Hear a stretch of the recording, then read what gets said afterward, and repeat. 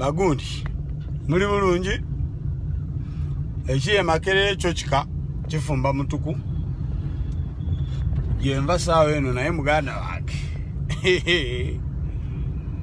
Abaana bo basaze okwekalakasa leero anyways entabo eva kuki entabo eva kukuba nti nno uh, of course vice chancellor nawangwe nawangwe yavuddeyo nategeeza abaana basigaye nga bagenda maaso n'okusoma kyebayita online studies.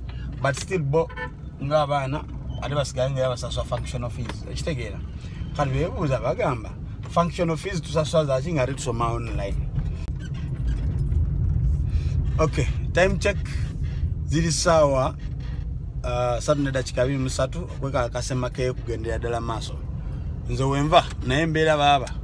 Si ya mulembe nnyo kyensobola okugambako ekitonotono kiri nti ofcourse abaana nga bwe badde bategese okwekalakasa kwabwe olunaku olwaleero poliisi kyekoze bwekubasookamu nebasookebawamukkaawo kyebawadde naye nga zigenza owera saawa nga bbiri kitundu ngaabaana bamu kwaba badde bategese okwekalakasa kuno badde batandise okuyingira street batya.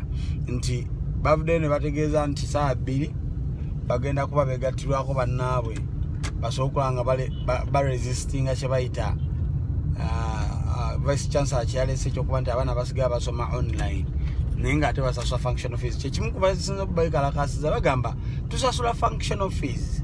Ate lwaki tusigala tusoma online? Kyetwandisose tukola at least twandisomyenga physically because we pay functional fees.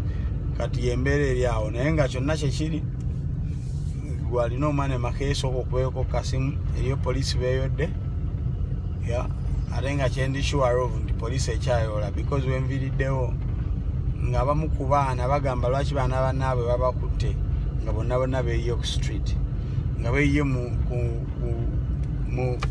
nguudo ezenjawulo awo emakerereso mbasaba busabi bwoba olina omwana emakereso oyiteyoko okubeeko akasimu because yeyo embeera eriwo.